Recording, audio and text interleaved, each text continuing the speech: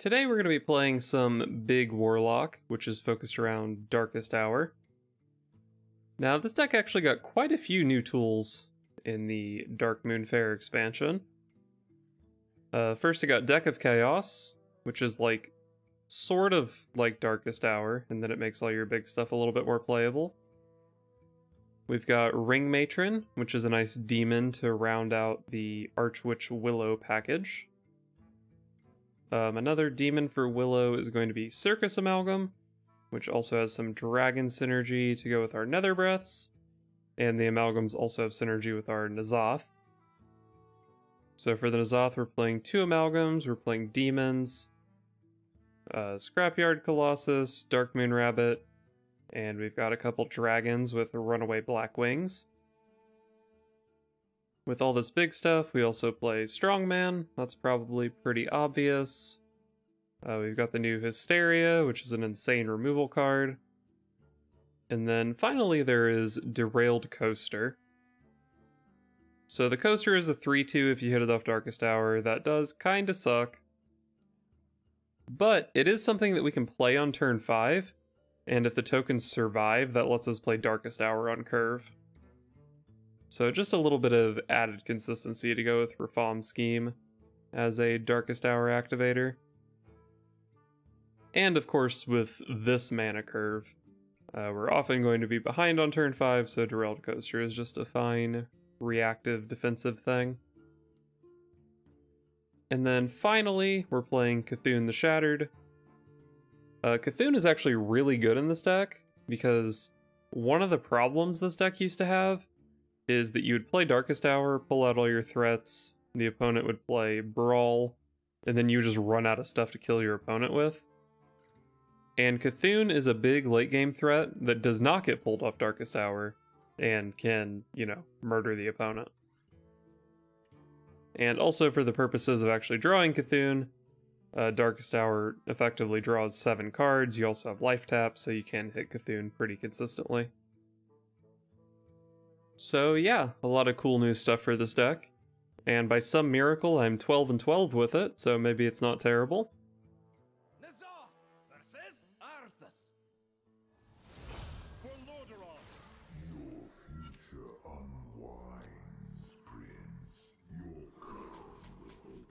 Let's try to hit some tokens. Oh, this could be a nice game.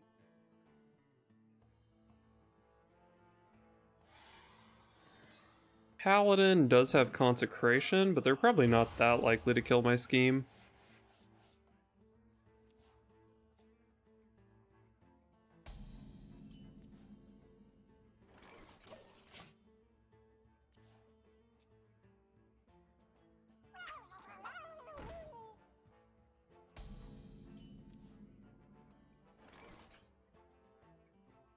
Dude, if you want to give me 10 mana, I'm I'm okay with that. Unfortunately, I can't play anything that lets my opponent kill that. Maybe I tap for Soul Shear or Nether Breath so I can kill this and he can ramp me.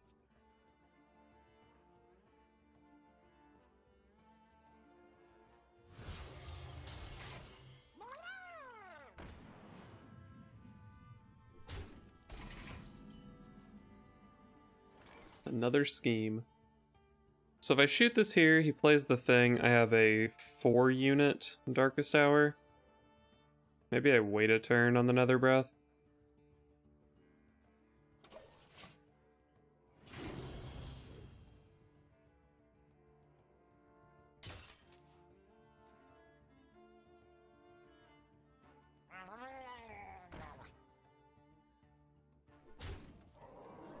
How obvious is it if I Nether Breath the, uh, the Dragon Tamer instead of the War Leader? Too obvious? Probably too obvious, right? And I just also take a shitload of damage because of this Crab Rider. Oh well, I guess I coin out Ring Matron next turn.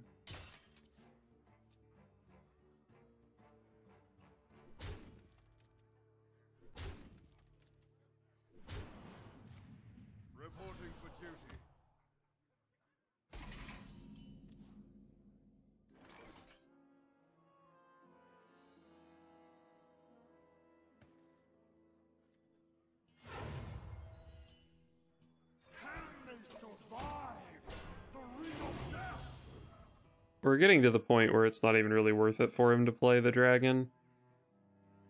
But, I don't know. He's still two turns away from tip the scales without it, so... Might be worth. Which path to choose?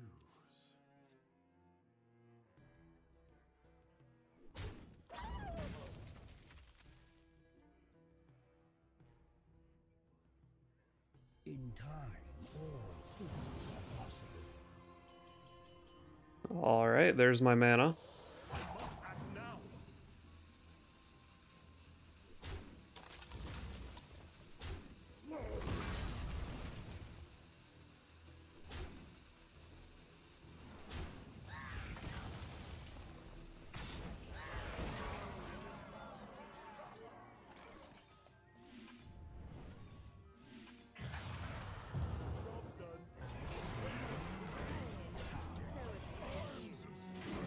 I didn't hit the rabbit or a dragon.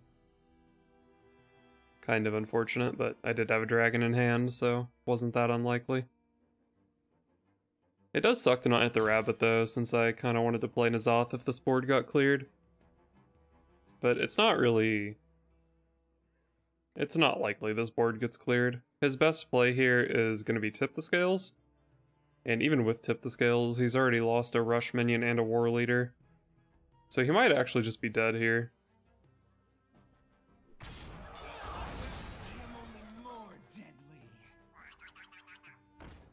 Darkmoon Rabbit. Okay, sure. I've only got 15 power, that's not that much.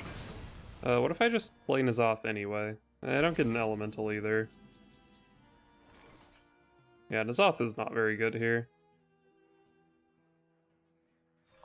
So let's play a 9 mana 9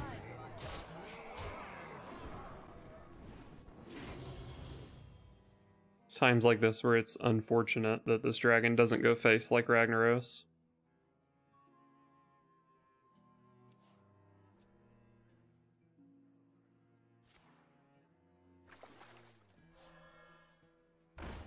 Alright, there's the tip the scales. The six power minions are really pathetic in the face of my Scrapyard Colossus. You actually just can't even kill my Scrapyard Colossus here. well, he can't kill the... I think it's called a Felcracked Colossus. Could be wrong about that.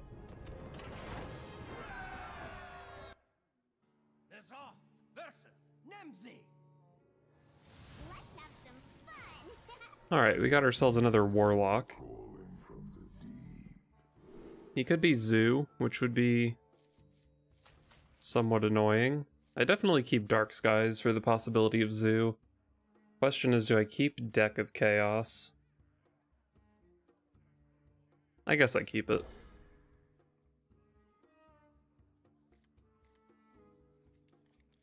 Okay, there's a Darkest Hour.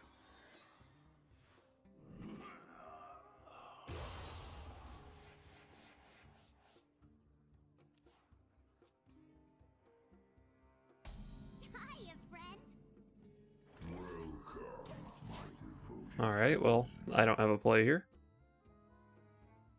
My hand doesn't support this Darkest Hour very well, unfortunately.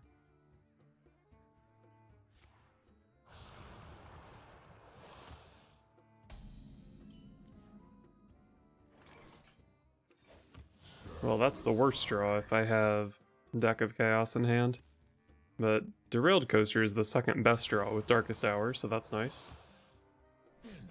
I do have a very spell-heavy hand, though, so this Derailed Coaster might not actually get me much, but there's Rafaam's Scheme. It's kind of small at this point, though. Like, if I play it on turn 5, it's only going to make 3.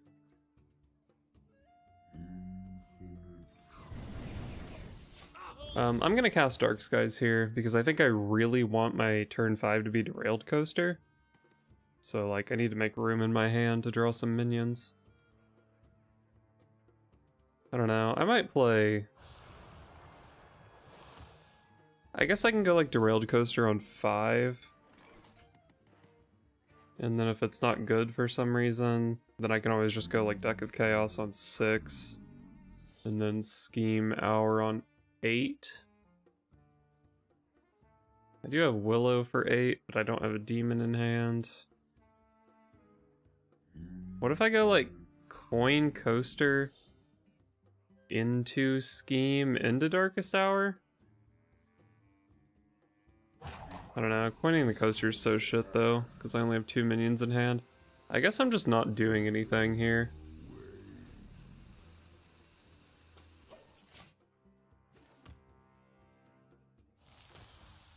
Really bizarre turn from me.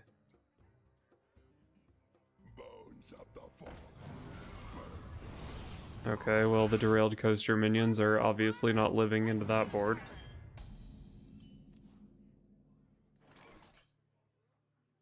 Maybe this is just an Eye of C'Thun turn? Actually, the derailed coaster lines up pretty nicely here. It's not like I need it for the darkest hour, it's just kind of nice if it works out. But like, this is just a good turn 5 play, not worrying about the darkest hour. And then the turn 8 hour is good enough, I think.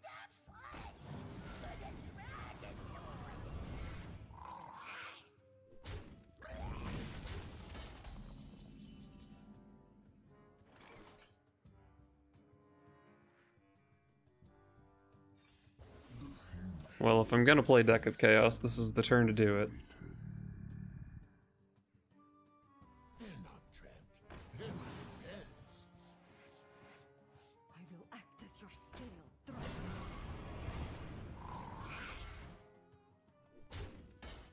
I have Hysteria for that four or five.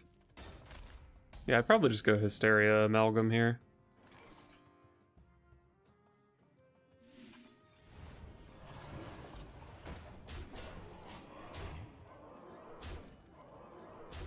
Wow, he just went down the line, huh? Oh, not at the end. Cool. So the only variance there was whether or not he ended up with a 1-1 or a 1-3, and I got the better end of that.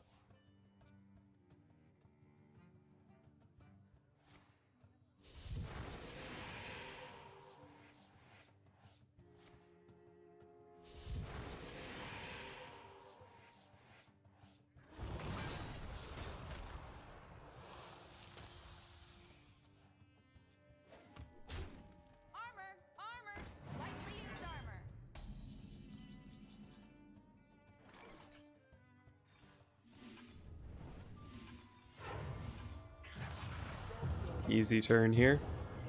So the opponent can obviously have uh, Twisting Nether, or maybe even something else that could uh, deal with this board. But I had a lot of Death Rattles here.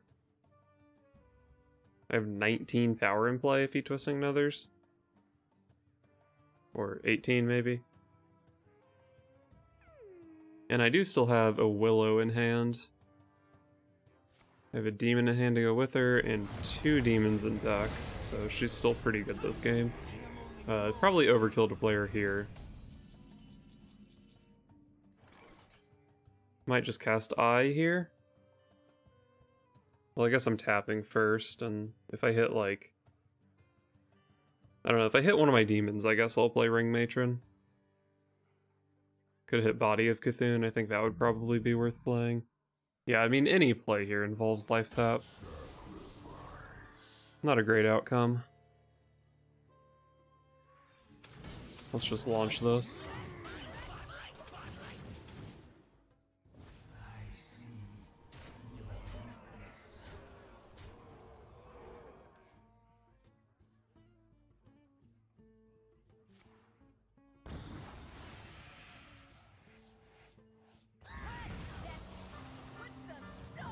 That's a lot of 3 threes. I might be playing an AoE here.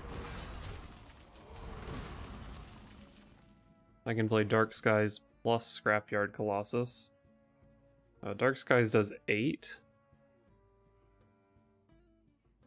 Uh, I did lose my N'Zoth. But I could still just play the Rabbit here. I don't know, the Rabbit's pretty good on, uh, like the Y'Shaarj turn, perhaps. Let's go ahead and tap here. And then we just shoot this and play Dark Skies. I believe he ends the turn with a 3-1 here. But a 3-1's not that big of a deal.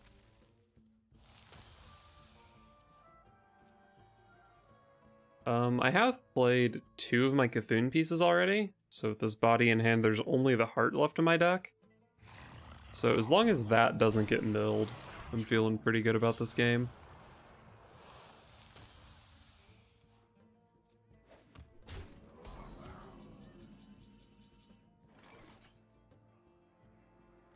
Uh, let's go ahead and play Willow and then tap for the C'Thun piece here.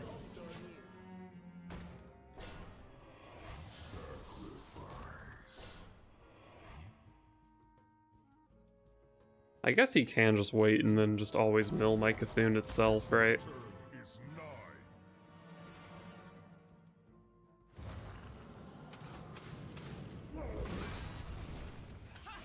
I am only more deadly. Okay, there's the C'Thun piece. Well, this turn definitely just seems like coaster plus body. These two one ones attacking are so good.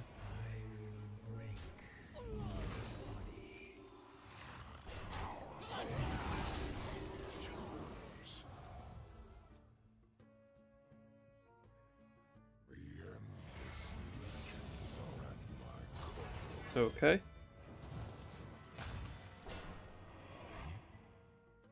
The rush minion is really annoying here.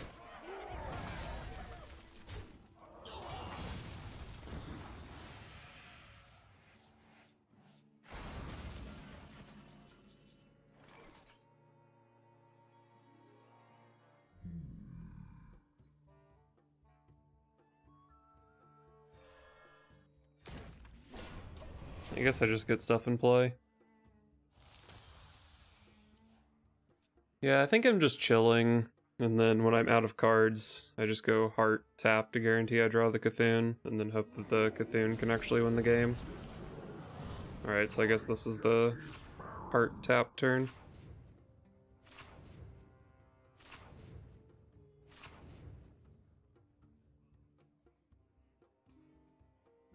The problem is on the C'Thun turn, he's pretty likely to have like Y'Shaarj plus Tickatus in play, which is 18 health, which is a lot. Uh, looks like I get to hit him for 7 here though, which is pretty nice.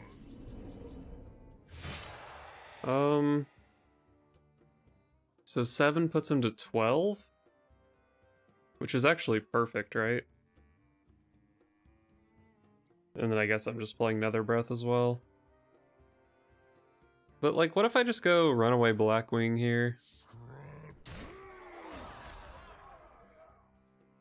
Is that more or less safe than just going for the C'Thun win? I feel like if I just set him to 8 here with C'Thun next turn... Well, I mean, he does have 5 Soul Fragments in deck. Half his deck is Soul Fragments. He also has to have Y'Shaarj. Like anything short of Y'Shaarj is just not even close to good enough, I think.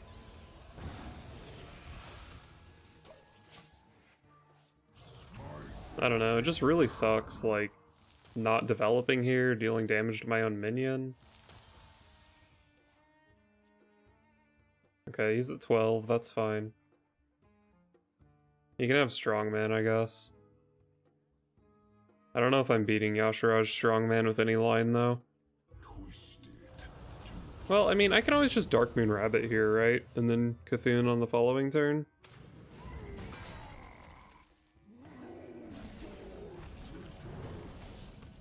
Alright, nice.